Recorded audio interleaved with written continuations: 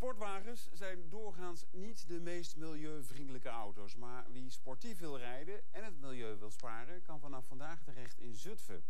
Daar is vanmiddag de Burton Electric gepresenteerd. Hij ziet eruit als een sportwagen, maar verwacht bij deze auto geen grommende uitlaat. Toch zit er een behoorlijke motor onder de kap. Een elektramotor van 25 kilowatt die vanaf de eerste, uh, uh, eerste seconde vol vermogen ge kan geven. Iwan Greubel en zijn broer Dimitri zijn al van jongs af aan gefascineerd door alles wat beweegt. Tien jaar geleden beginnen zij met het maken van sportwagens gebaseerd op het onderstel van een lelijke eend. Aan die nostalgisch ogende sportwagens is nu de Burton Electric toegevoegd. Oud-minister Vermeend heeft als commissaris van Burton de eer om in de eerste Electric mee te rijden. We gaan hem eerst verder ontwikkelen. En ja, uiteindelijk moet Nederland toch een beetje die bakermat worden. We lopen echt een keer voorop als Nederland.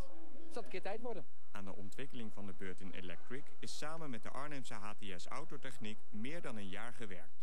De komende maanden worden er 10 exemplaren gebouwd die afhankelijk van de uitvoering tussen de 30.000 en 50.000 euro kosten. Is hij al aan het sparen voor een e-Burton?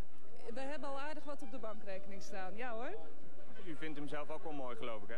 Ik zie ons er wel in zitten. Dat, uh, dat komt wel goed ja. Het unieke van deze auto is dat hij ondanks de 31 accu's voor de energie nog steeds weinig weegt.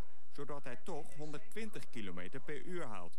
En dat zonder een luid ronkende motor. Het is juist ontzettend gaaf om met een cabrio elektra-auto te rijden. Want je hoort de vogel die naast je fluit, die hoor je nog. Dat is fantastisch zelfs. Ik ben wel een autoliefhebber. Dan moet hij toch eigenlijk grommen en ronken? Nou, dat is ook het uh, bezwaar wat ik heb tegen een Bird. Het ziet er heel leuk uit. Maar het geluid valt wat tegen. Komt allemaal, want het aardige is... Uh, er komen waarschijnlijk regels voor elektrische auto's... waarbij je toch een uh, geluid moet maken.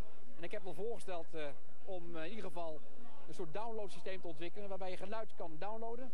En dan kun je voor het Porsche geluid laten horen. Het moet straks toch, het wordt verplicht. Zo'n stille elektromotor is natuurlijk ideaal als je van de mooie natuur wil genieten. Maar dan moet het weer wel een beetje meewerken. Maar gelukkig, hij wordt ook geleverd met kap.